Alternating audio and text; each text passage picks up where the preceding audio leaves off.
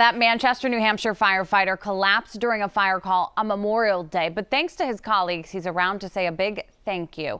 Craig Ferry went into cardiac arrest as he entered a burning home on South Beech Street.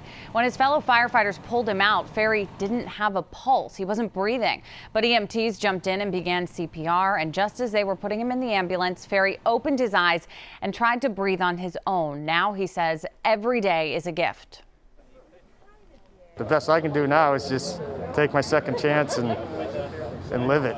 I think that's how I can honor everybody that saved me. You know, just enjoy life. So true. Yesterday, Ferry presented everyone who was at that scene with a life-saving pin. He is now back on the job doing the life-saving himself. And we're happy to report that. Antoinette.